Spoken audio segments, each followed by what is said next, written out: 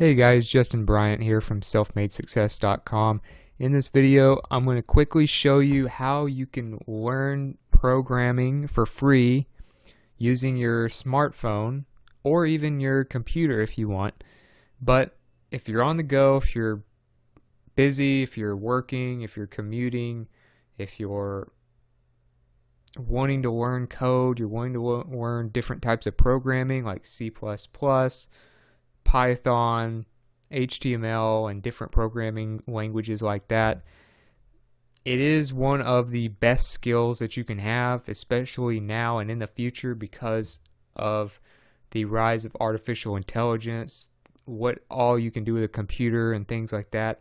This is one of the best skills you can have. So, learning programming has been a big emphasis for me lately.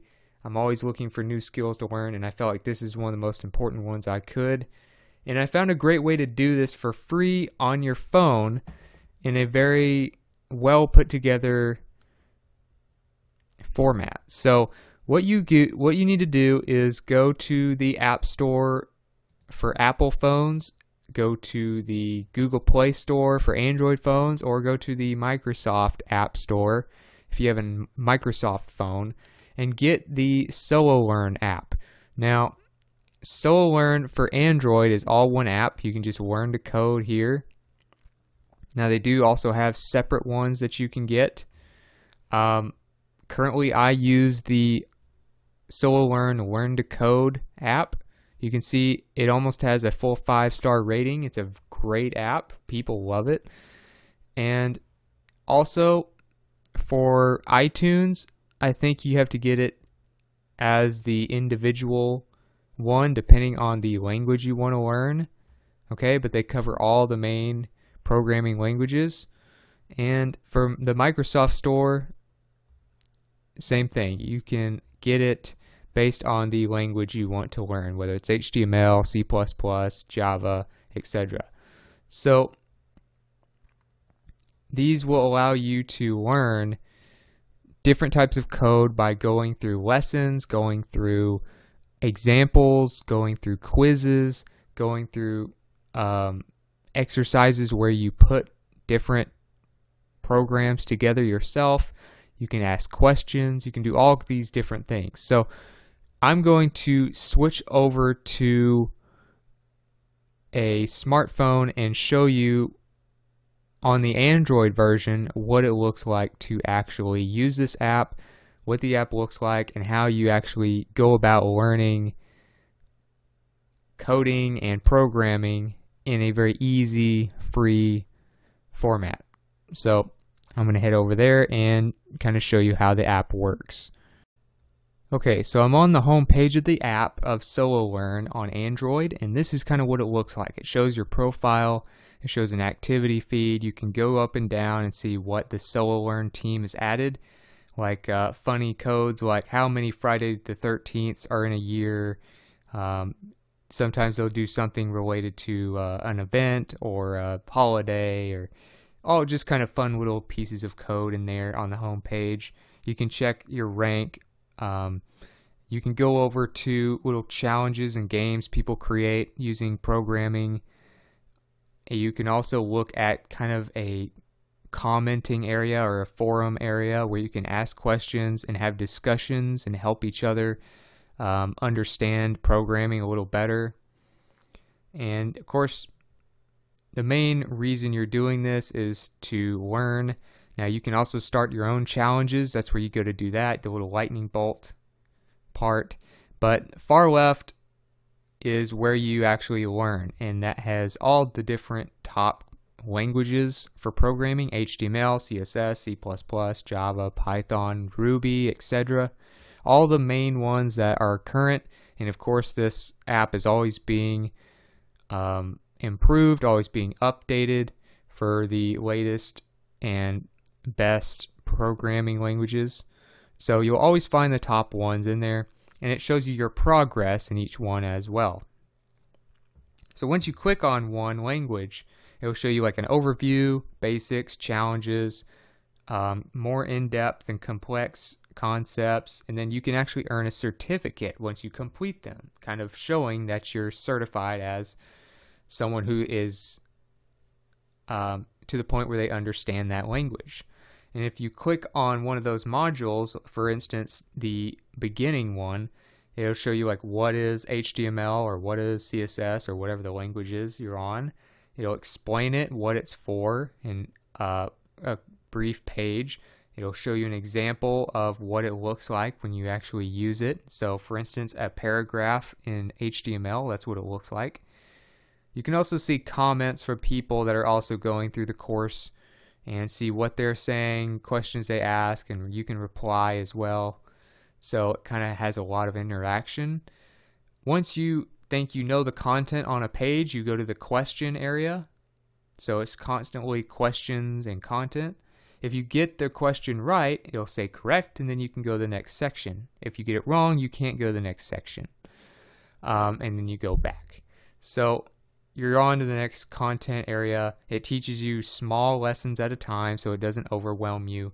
Then you go to a question and it'll be fill in the blank or arrangement questions like this one, where if you get it wrong, it'll show you with a little red X and then it takes you back to the page where it teaches you the answer to the question. So it's very easy, very straightforward, divided up into very small lessons so you can just learn a little bit at a time and not get um, overwhelmed by it. You have examples, you have places where you can actually try it yourself and create your own code. Different types of quizzes where it's just questions that help you understand whether you know the information yet or not and comprehend it well. Also, you know, they have fill in the blank questions like this one where you have different choices. So it gives you a lot of different types of questions, a lot of different um, parts of the language, and it divides them up. So, for instance, you're starting to actually do some HTML now in this area, and it shows you paragraphs, it shows you lists, shows you tables, elements, etc. So then you can do challenges, um, and it shows you kind of okay, create this or what would this be. And then once you've done all the modules, you can get a certificate that says you completed it. So they also have, you know, other languages, of course. I've mostly done HTML so far, but they have CSS, which is like the styling of websites. Of course, you cannot do, you can't hardly do some of the other things until you've gone through the parts that are the basics. They have options where you can skip ahead. I haven't actually tried those yet, but if you're already experienced at some of these, you might try that. Um, the more ex- the more complex languages like Python, for instance, will have more modules because it's more complicated and there's more functions to it. So it's a very great way to learn, and I find it to be pretty enjoyable. So it also shows you your badges, which is kind of like achievements that you've gotten skills you've learned from going through the courses. You have notifications basically telling you, oh, you leveled up, or somebody responded to your comment, or something like that. And then they also have a leaderboard. You can invite friends, you have quizzes, you can have settings to change, and things like that. So it's kind of a really just very well put together way to learn programming languages of all sorts which is one of the top skills, of course, that I think you can have in the future. All right, so that's it, guys. I hope you feel like this video was helpful in a way to you. And like I said earlier, just go to whatever app store it is that you use for whatever phone type you have, whether it's made by Microsoft or Apple or some type of Android device um, and get this app. It's completely free. It'll teach you all these programming languages, or you can get the individual programming language apps if you want to focus on a specific one like Python only or something like that. And you can actually learn, as I showed you, through your phone how to program and create all kinds of different things using code.